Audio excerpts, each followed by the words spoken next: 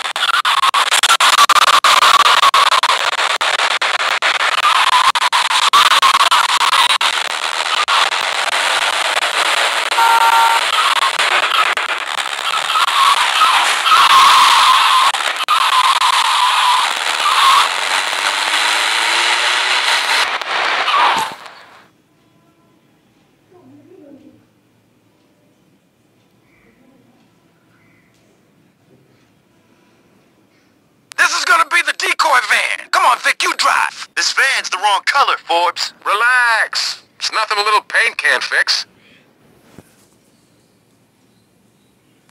This van is good to Van Gogh. Yeah. Funny. Vic, take the decoy and lead the cops away from here. We'll let you know when we're home free.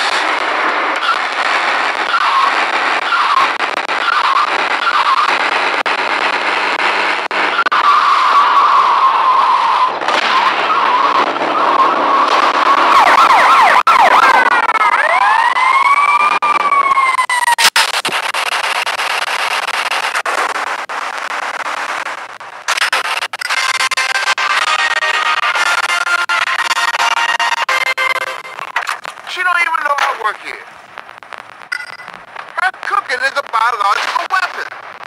I choose now to get away from her.